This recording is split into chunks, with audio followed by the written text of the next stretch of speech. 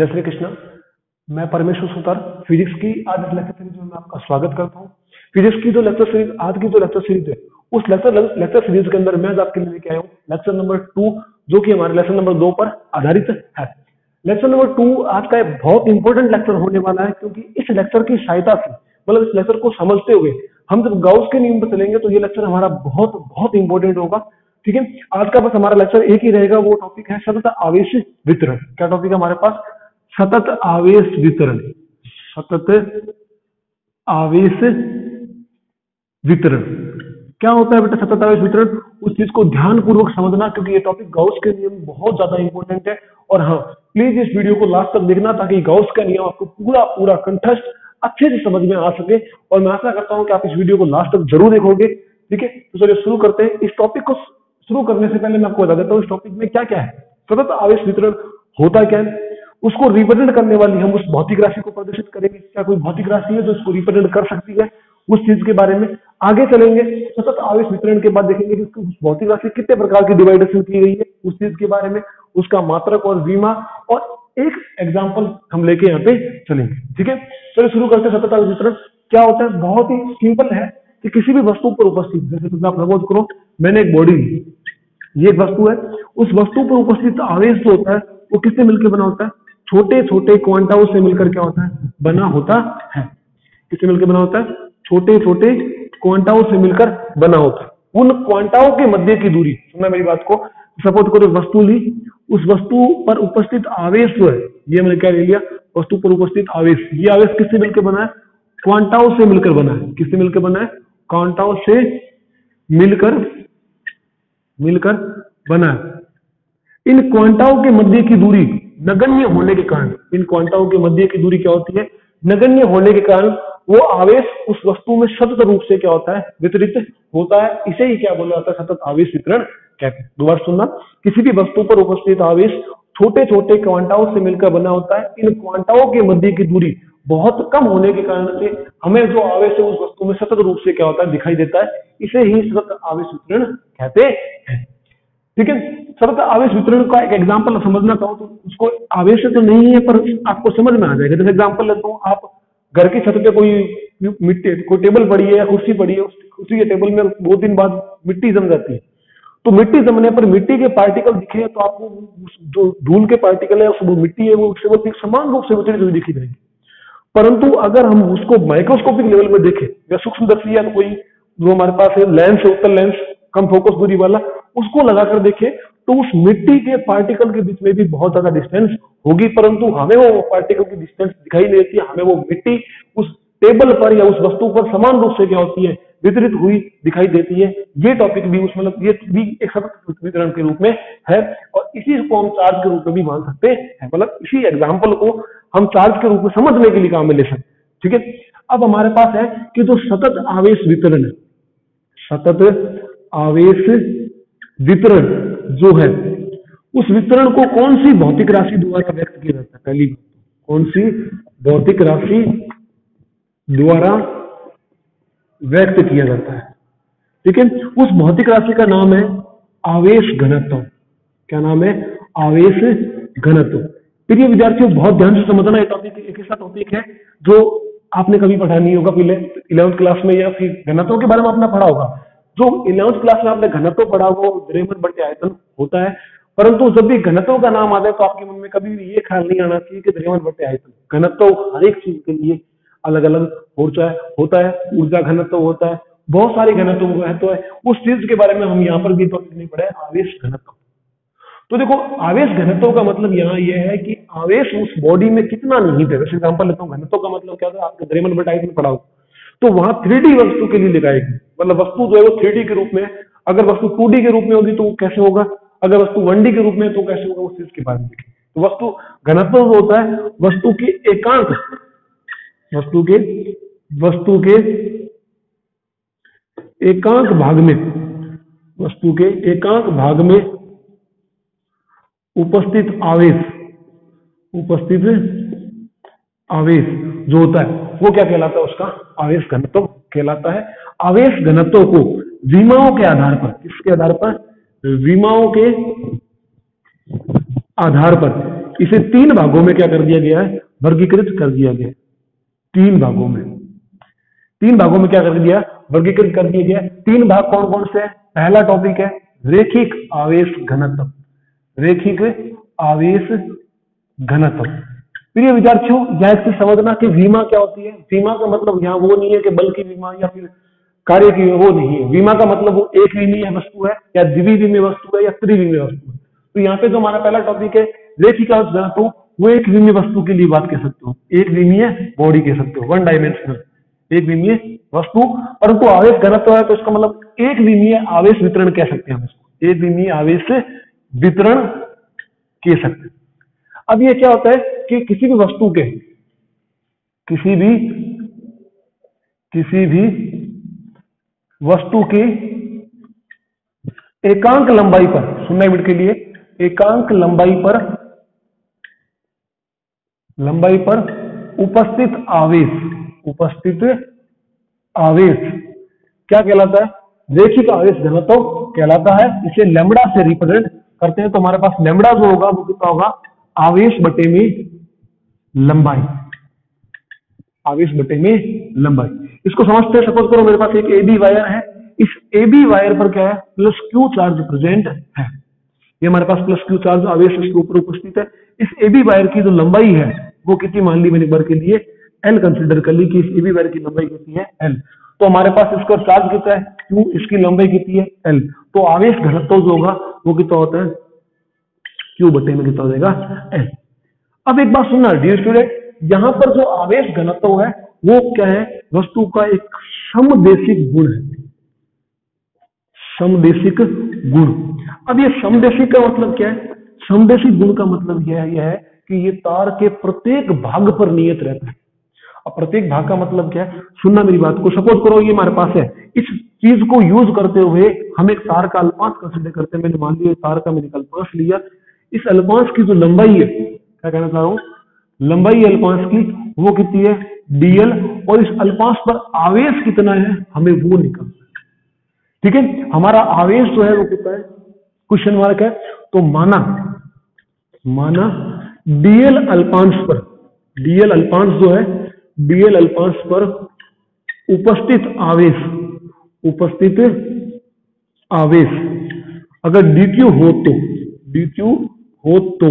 अगर डीक्यू आवेश माने इसको तो डी क्यू बराबर कितना हो जाएगा? लेमडा इंटू डी एल इसका मतलब ये विद्यार्थियों, यहाँ ये हुआ कि इस तार का एक संदेश गुण होने के कारण से हमने क्या लिया, एक अल्पांश पे कितना चार्ज होगा उस चीज़ को मेज़रमेंट कर लिया अब हमारे नेक्स्ट टॉपिक है कि जो हमारे पास आवेश घनत्व है, लेमडा का, हमें क्या पढ़ना है? मात्रक विभव देखना है। लेमडा का मात्रक है विमा। देखो, पहले इसमें थे ऐसा यूनिट ऐसा यूनिट ऑफ़ लेमडा वो कितना होता है? कुलोम बटे में मीटर ठीक है? सीरियस में नहीं पढ़ाऊँगा इसमें, कोई काम की चीज़ नहीं, इतने ज़्यादा काम अपने आएगी नहीं, पर हमारे ऐसा ही में चल जाएगा इसका काम। फिर देखा जाए डायमेंशन तो डायमेंशन ऑफ़ लेमडा देखा जाए तो कुलाम की डायमेंशन क्या होती है? ए वन और टी वन इसी प्रकार लंबाई की डायमेंशन कितनी होती है? एल वन हम सोल्व करें तो कितना जाएगा L one T one L minus one sorry L minus one T one और कितना होगा ए वन हो जाएगा। ये हमारे पास रेखिक घनत्व की हो गई ये विमीय सूत्र हो चुका अब इसका एक उदाहरण देखते उदाहरण समझते कि कैसे निकालते माना देखो, हमने क्या माना? एक आर त्रिज्या। आर त्रिज्या की वलय है। वलय उस पर क्यू आवेश उपस्थित है। तो उसका तो उसका लेमड़ा क्या करना अपने को? फाइंड आउट करना है। एक बार उदाहरण सुबह समझना एक माना आर त्रिज्या की वलय है, उस पर क्यू आवेश प्लस क्यू आवेश क्या है? उपस्थित है तो उस वस्तु का लेमड़ा कितना होगा? हमें वो निकालना तो मैंने मान लिया कि एक रिंग ले ली, इस रिंग पर क्या है? प्लस क्यू आवेश उपस्थित है।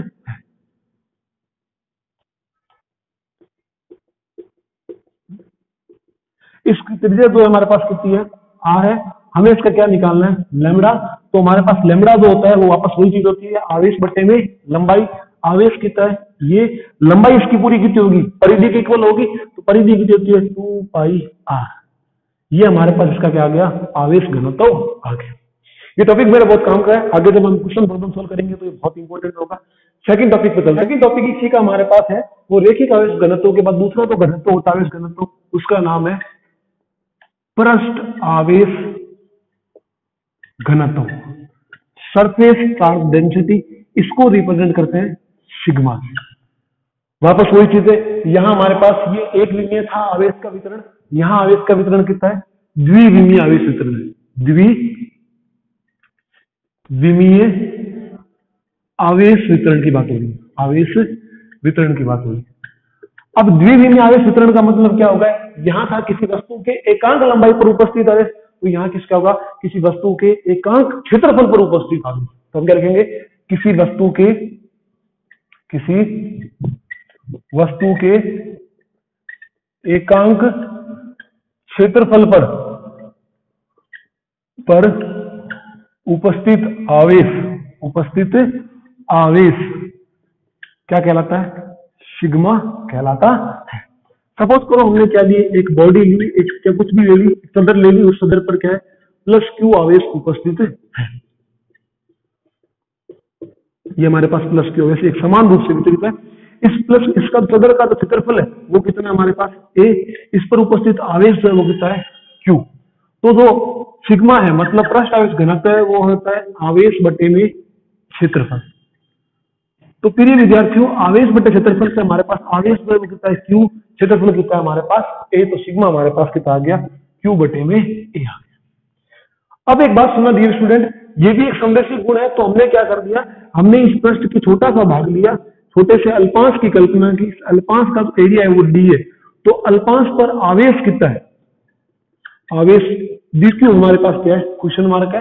क्योंकि ये भी एक समदर्शी गुण है तो माना माना डी ए अल्पांश पर डी ए अल्पांश पर उपस्थित आवेश। तो डी ए अल्पांश पर उपस्थित आवेश कितना माने इसमें? डी क्यू मान ले तो डी क्यू बराबर कितना होगा? सिग्मा इंटू डी ए ये हमारे पास क्या हो गया? डी क्यू आवेश पर उपस्थित, सॉरी डी ए अल्पांश पर उपस्थित आवेश आ गया। अब वापस वही इसका विमेय सूत्र क्या होगा? तो पहला देख लेते हैं ऐसा यूनिट तो ऐसा ही यूनिट ऑफ़ सिग्मा देखो इसमें ऊपर तो कितना आएगा? कुलोम बटे में कितना आ जाएगा? मीटर स्क्वायर अब देखा जाए dimension of sigma dimension of sigma तो कुलाम की कितनी होती है? A one T one eight और इसके कितने होते हैं? एल टू ऊपर जाने पर कितना आ जाएगा? माइनस एल टू और ए वन और टी वन ठीक है? अब हमारे पास इसका भी एक उदाहरण देख लेते हैं। इसका उदाहरण क्या लिया मैंने? ये देखो। मैंने एक शक्ति ली। शक्ति ली, इस शक्ति पर आवेश कितना है? इस शक्ति पर आवेश क्यू है।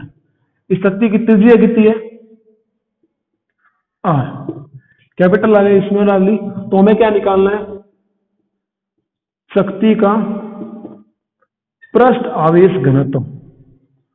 पृष्ठ आवेश घनत्व हमें सिग्मा फाइंड आउट करना कि शक्ति का पृष्ठ आवेश घनत्व कितना है वापस वही चीज़ हमने शक्ति बना ली। ये डिस्क है, इस डिस्क पर गया। प्लस क्यू आवेश एक समान रूप से वितरित है। इसकी त्रिज्या कितनी है? आर और आवेश कितना है क्यू तो शक्ति का सिग्मा होगा मतलब पृष्ठ आवेश घनत्व होगा, वो कितना होगा?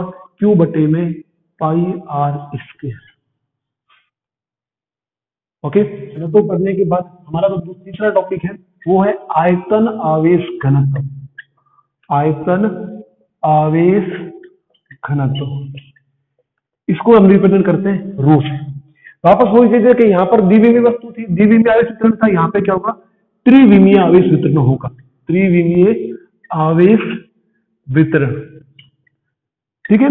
ये क्या होता है? यहाँ पर किसी वस्तु के एकांक क्षेत्रफल पर आवेश था तो यहाँ पे क्या होगा? कि वस्तु के वस्तु के एकांक आयतन पर उपस्थित आवेश एकांक आयतन पर उपस्थित आवेश जो होता है, वो क्या कहलाता है हमारे पास? रो कहलाता है। तो हमारे पास रो का फॉर्मूला क्या हुआ? रो बराबर हो गया आवेश बटे में आयतन। तो आवेश कितना है? मैंने मान लिया क्यू और आयतन कितना है इसका वी हमने एक बॉडी बनाई इस बॉडी पर मैंने सपोज़ करो मैंने गोला बना दिया, या सपोज़ हमने स्क्वायर की बात करते, मैंने गोला बना दिया। ये गोला जो है, उस गोले पर क्या है प्लस क्यू आवेश एक समान रूप से वितरित है। ये इस गोले पर प्लस क्यू आवेश एक समान रूप से वितरित है। कितना आवेश है?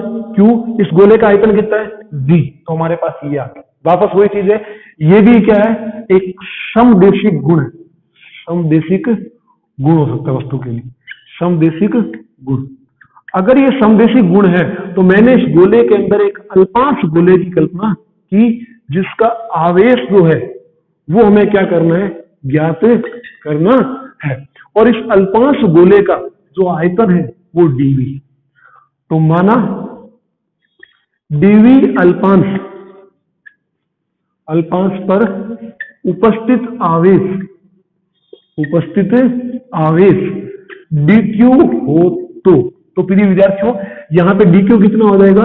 डीक्यू बराबर हो जाएगा रो इंटू डीवी ये हमारे पास फॉर्मूला आ चुका अब यहाँ पर वापस इसी की वही चीज़ पढ़ेंगे। ऐसा यूनिट है डायमेंशन तो ऐसा ही यूनिट ऐसा यूनिट ऑफ़ रो वो कितना होगा? कुलोम बटे में मीटर क्यूब, ये तो हमारे पास पहला हो गया।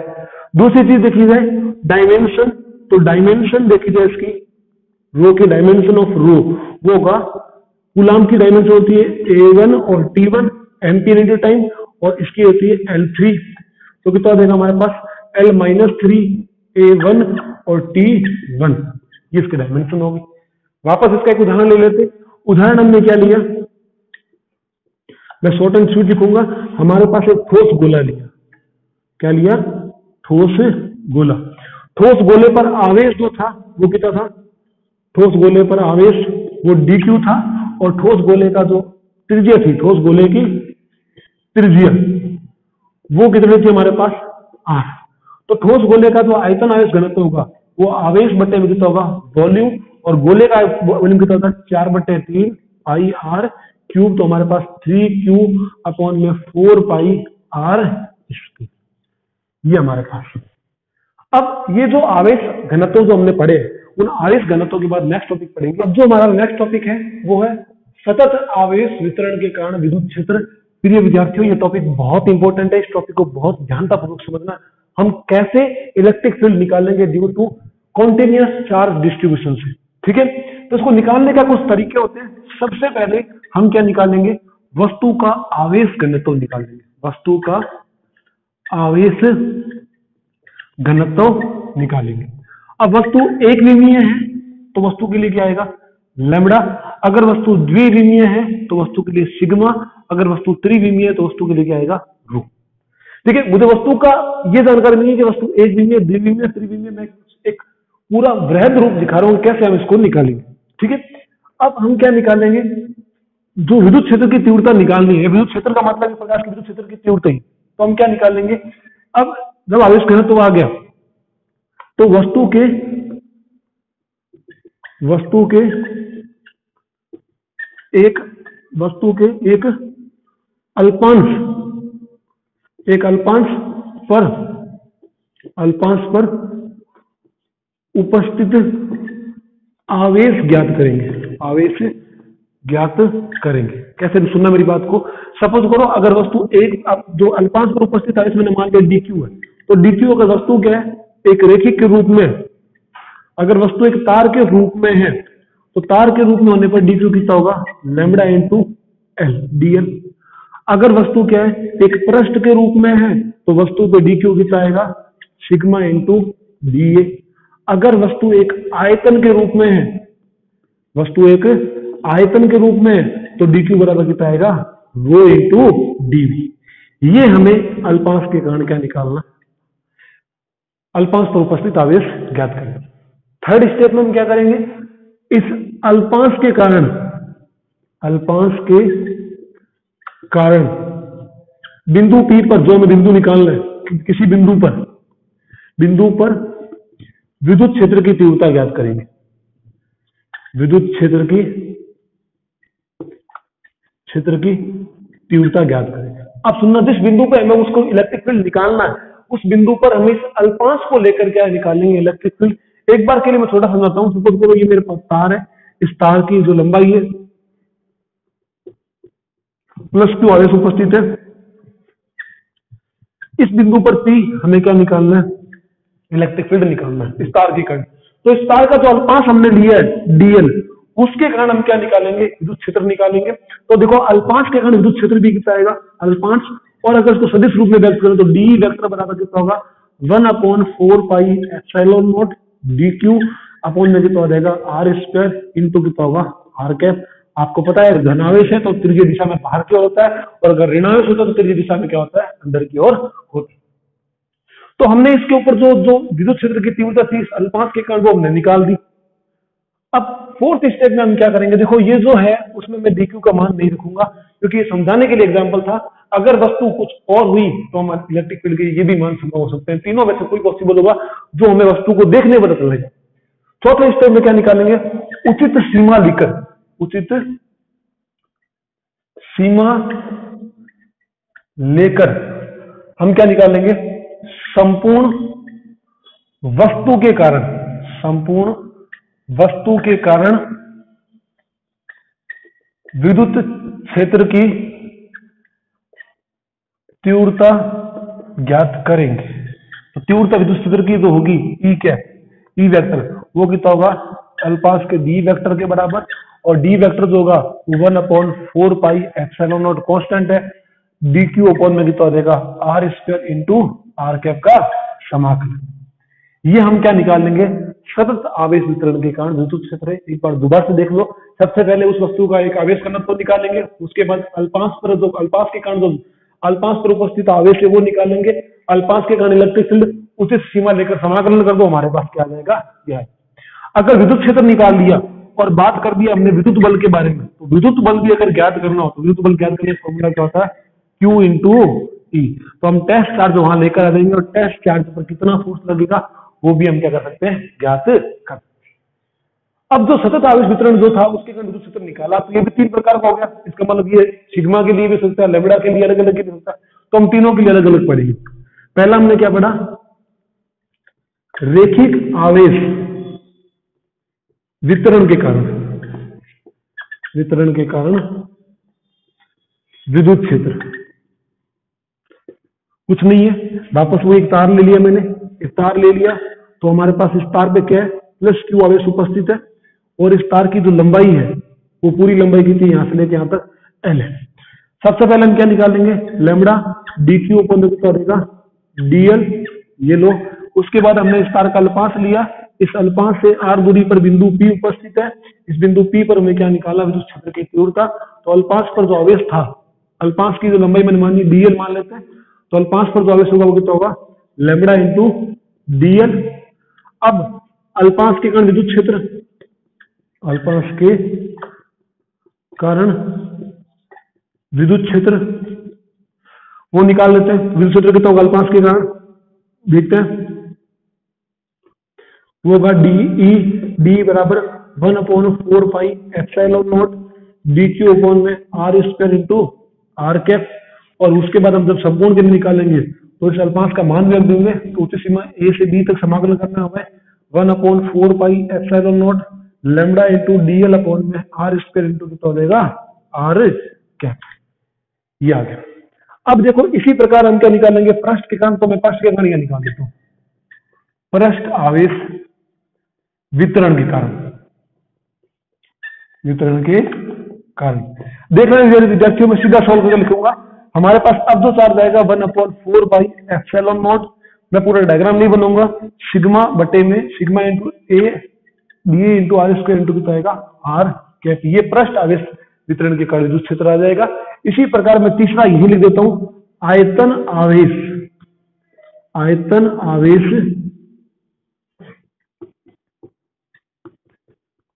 वितरण के कारण विद्युत क्षेत्र। तो ये जो टॉपिक है, उस टॉपिक में हम देख लेते हैं क्या निकालना आयतन आवेश के कारण सीधा फॉर्मूला निकालते हैं, बेटा। वापस प्रोसेस यही रहेगा, इसमें पहले ये निकालो अल्पांश के कारण फिर ये। मैं सीधा फॉर्मूला लिखता हूँ, थोड़ा टाइम वेस्ट नहीं करेंगे दादा हम इसमें। One upon four pi epsilon nought, यहाँ पे आयतन आ जाएगा rho into DV R square into कितना आ जाएगा? आर के ये हमारे पास इस टॉपिक के बारे में नमस्कार प्रिय विद्यार्थियों, जो सतत आवेश वितरण पढ़ने के बाद हमारा जो नेक्स्ट टॉपिक है, वो है आर त्रिज्या की क्वेश्चन दे रखा है, वो क्वेश्चन करते हैं।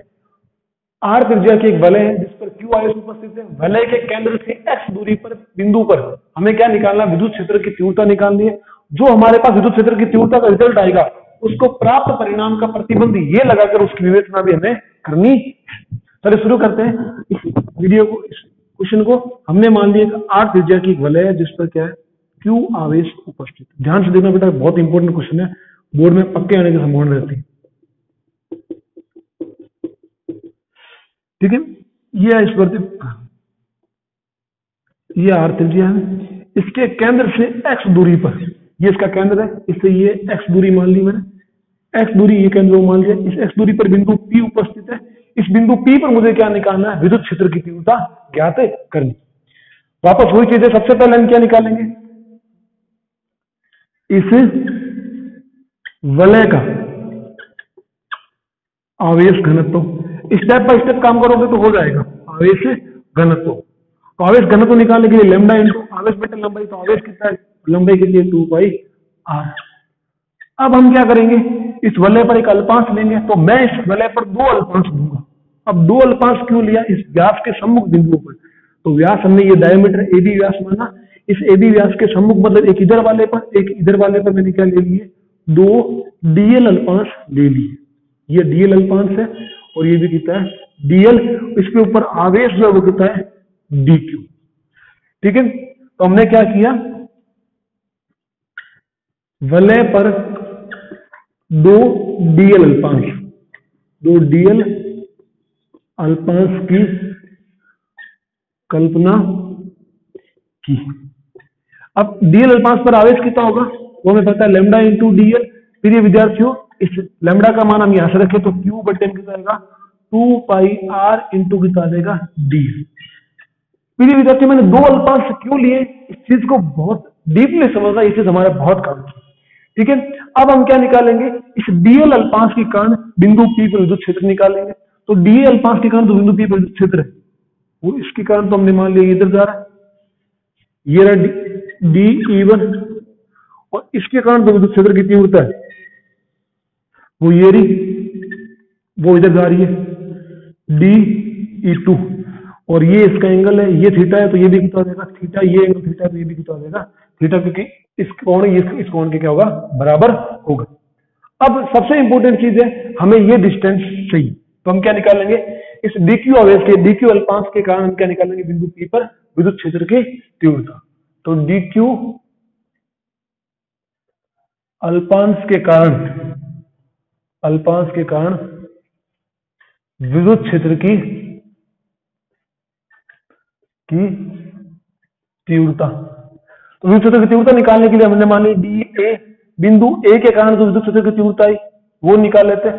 ये बिंदु ए पर अल्पांश है। बिंदु ए पर स्थित अल्पांश के कारण। अल्पांश के कारण।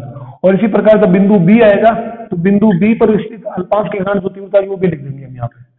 तो इसके लिए प्रिय विद्यार्थियों, हमें डी क्यू जो होगा one upon four pi epsilon nought मैं आगे इसको के लिख दूँगा डी क्यू बटे में कितना आएगा? डिस्टेंस डिस्टेंस हमारे पास कितनी आएगी? एपी एपी का स्क्वायर एपी का स्क्वायर इंटू कितना आएगा? ए से पी एपी हैं। अभी मैं इसको और सरलीकृत करूँगा, पर एपी की डिस्टेंस निकाली थी त्रिभुज से। त्रिभुज देखो, इस डायग्राम के अंदर हमने कौन सा लिया? ए ओ पी त्रिभुज कौन सा लिया? ए ओ पी में। एओपी में जो हमारे पास एपी है, वो पाइथागोरस प्रमेय से कितनी हो जाएगी? सीधा देखने बेटा, कि पाइथागोरस प्रमेय से कितना हो जाएगा हमारे पास? आर स्क्वायर प्लस कितना आएगा? एक्स स्क्वायर ठीक है? तो ये जो मान है, मैं यहाँ रख देता हूँ। ये हमारे पास के डी क्यू अपॉन में कितना हो जाएगा रूट में X square plus R square का होल स्क्वायर इंटू कितना आएगा? एपी कैप और अब इसको सरलीकृत करेंगे, बल्कि बिंदु पी वाला हटा सिस्टम ये डी ई वेक्टर होगा हमारे पास। डी ए वेक्टर वो D K D Q upon में X square plus R square X square R square और एपी कैप ये हमारे पास समीकरण दे दी तीन। इसी प्रकार बिंदु बी पर स्थित बिंदु बी पर स्थित अल्पांश के कारण डीबी देखो बेटा, इसके ऊपर भी चार्ज समान है। इसके ऊपर भी क्या? आवेश समान है तो के डी क्यू अपॉन में एक्स स्क्र बीच की डिस्टेंस भी क्या है? सेम है, और डिस्टेंस होगी बीपी क्या? सुनना, यहाँ पे जो एपी है, वो किसके बराबर है? बीपी के बराबर अब एक चीज़ आप गौर से देखना, इन दोनों को समीकरण तीन में चार इक्वेशन थ्री एंड फोर से। देखा जाए बेटा कि डीए का जो मोड है, वो किसके बराबर आ रहा है? डीबी के मोड के बराबर। अर्थात इनकी दिशा भिन्न भिन्न है, परंतु इनका परिमाण क्या है? समान है। अगर इन दोनों को मैं डीई मान लू तो मेरे कहने का मतलब यही है, जब दोनों का परिमाण समान होता है दिशा भिन्न भिन्न होती है तो घटकों में तोड़ना बहुत सुविधाजनक होता है। अब हम क्या करेंगे, इनको घटकों में डिवाइड करेंगे तो इसका ऊपर वाला जो होगा D E two cos theta इसका ये वाला घटक होगा D E one cos theta और इसका इधर वाला घटक डी e का डी ई वन का, जो होगा D E one sine theta और D E two sine theta फिर ये विद्यार्थी सुन से, दोबारा सुन लेना। जब दोनों का परिमाण समान हो और दिशा भिन्न भिन्न हो तो परिमाण समान और दिशा भिन्न भिन्न होने की स्थिति में घटकों में तोड़ना सुविधाजनक रहता है। इस साफ़ स्पष्ट हो रहा है कि साइन थीटा वाला घटक तो दूसरे क्या कर देंगे? निरस्त कर देंगे जितना ऊपर की ओर है, उतना ही क्या है? नीचे की ओर। तो दोनों एक दूसरे के परिमाण में समान और दिशा में क्या है? विपरीत। तो ये तो एक दूसरे निरस्त कर देंगे। परिणामी तीव्रता किसके कारण होगी? कोस थीटा वाले घटकों कारण होगी। तो हम लिख देते हैं कि साइन थीटा वाले घटक एक दूसरे को, एक दूसरे को निरस्त कर देंगे कर देंगे। अतः परिणामी तीव्रता परिणामी तीव्रता कोस थीटा वाले घटकों के कारण होगी। अब एक बात सुनना बहुत इंपॉर्टेंट चीज़ चलो कॉस्ट थीटा वाला कारण तो कॉस्ट थीटा घटक हमारे पास दो है। मैंने दो क्यों लिए, उस चीज़ को समझना। अगर मैं यहाँ पे एक लेता ना, क्योंकि मुझे एक ही अल्पांश चाहिए, क्योंकि जब हम तीव्रता निकालते हैं तो एक से निकल जाएगी उच्च सीमा ले लेंगे। तो हमें जब परिणामी तीव्रता निकालेंगे बिंदु पर तो क्या होगा? इंटीग्रेशन ऑफ़ हमें किसी एक का परिमाण लेना पड़ेगा और कोस थीटा लेना पड़ेगा। दोनों का क्यों नहीं लिया? क्योंकि हमें जब उचित सीमा लगाएँगे तो देखना मैं इस वलय के यहाँ से लेकर के, यहाँ तक घूम करके, पूरा जब मैं यहाँ जाऊँगा ना तो पूरा चक्कर कितना हो जाएगा? टू पाई आर अगर मैं दो तीव्रता लूँगा तो आधा तो ये घूमेगा, ज़ीरो से लेके पाई आर तक, और ज़ीरो से लेके पाई आर तक ये घूमेगा। क्योंकि अगर ये वाला भी एक राउंड पूरा ले लिया, और ये वाला भी एक राउंड पूरा ले लिया वलय पर तो दो बार घूमने पर जो तीव्रता आगे वो डबल आ जाएगी, जो कि संभव नहीं है। मैंने इस नीचे वाले पोर्शन को इसलिए बनाया है, बस और बस केवल ताकि मैं आपको ये प्रदर्शित कर सकूँ कि ये वाला घटक इसको निरस्त कर रहा है। बाकी इस नीचे वाले का कोई मीन्स नहीं है, मैं अगर इसको नहीं बनाऊ ना तो भी मेरा काम पूरा पूरा चलेगा। मैं बस इसको बनाने का मेरा मेन मुद्दा यही था कि इसको घटकों में, जो इस घटक को निरस्त करने वाला घटक दिखा सकूँ। वरना फिर मैं आपको कहता, ये निरस्त हो जाएगा तो आप कहते हैं ये निरस्त कैसे हो सकता है? उस चीज़ को समझाने के लिए मैंने आपको क्या किया? इस घटक को बनाया। बाकी इसका कोई रोल नहीं है। हम इसके कारण पूरा क्या करेंगे? लिमिट ले लेंगे, उस सीमा ज़ीरो से लेकर टू पाई आर तक मतलब घूम लेंगे पूरे तो हमारी लिमिट होगी, वो कितनी होगी? उच्च सीमा ज़ीरो से लेकर टू पाई आर और डी ई कॉस थीटा फिर विद्यार्थियों, मान इसके अंदर इंटीग्रेशन ज़ीरो से लेकर टू पाई आर डी का मान है, वो के और डी क्यू डी क्यू का मान भी रख देते हैं हम यहाँ पे, ठीक है? टाइम वेस्ट नहीं करेंगे। और फोर तो आ गया हमारे पास। टू पाई आर और डी एल और कॉस थीटा और है। तो इस डायग्राम में कॉस थीटा भी देख लेते हैं बेटा। कॉस थीटा जो होता है, आधार बट्टे में कितना होता है? कर्ण। इसका जो आधार है, वो कितना होता है? ये रहा हमारे पास एक्स और कर्ण कितना है? ये वाला, ये रूट में X square plus R square तो ये कितना हो गया? एक्स बट्टे में रूट में X square plus R square ठीक है? तो यहाँ पे हमारे पास कितना आ जाएगा? एक्स बट्टे में रूट में X square plus R square और एक इस तीव्रता का भी क्या आ रहा था? ये वाला। तो ये हमारे पास कितना आ गया? X square plus R square ठीक है? ये तो कॉस थीटा वाला टर्म है। ये जो टर्म है, ये वाला, वो चार्ज का और ये इसकी डिस्टेंस को शो कर रहा है। थोड़ा सरलीकृत कर लेते हैं। तो डी ई e बराबर कितना होगा इंटीग्रेशन ज़ीरो से लेकर टू पाई आर और जो चीज़ कांस्टेंट है, पहले समाकलन से क्या निकाल लेते हैं? बाहर निकाल लेते हैं। के क्यू कांस्टेंट है टू पाई आर भी कांस्टेंट है। और देखा जाए, ये एक्स भी कांस्टेंट है, क्योंकि एक्स तो कांस्टेंट है। और ये R square plus X square जो होगा इसकी पावर हाफ़ और ये जुड़ के कितना देगा तीन बटे दो। तो तीन बटे दो होने पर X square plus R square की पावर तीन बटे दो इंटीग्रेशन ज़ीरो से लेकर टू पाई आर और कितना आएगा? डीएल और यहाँ पे आप इसको सॉल्व करें। तो एक बार के लिए देखना, विद्यार्थियों विद्यार्थियों।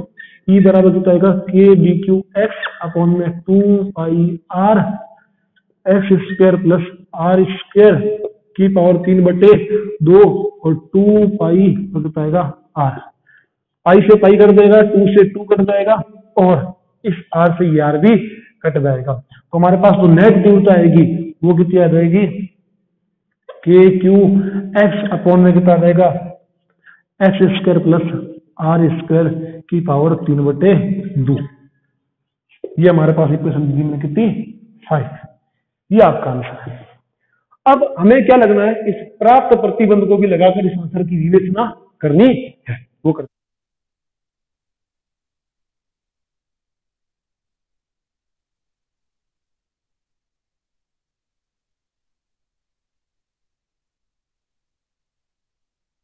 दो और वन प्लस आर स्क्वायर बटे में एक्स स्क्वायर की पावर तीन बटे दो। कटने पर ये हो जाएगा, ये देखो के क्यू एक्स स्क्वायर और ये वाला टर्म हमारे पास होता है one plus R square plus X square प्रिय विद्यार्थी, यहाँ देखना, ये जो एक्स है, वो बहुत बड़ा है तो मैं लिख सकता हूँ कि वन जो होगा, वो बहुत बड़ा होगा किससे?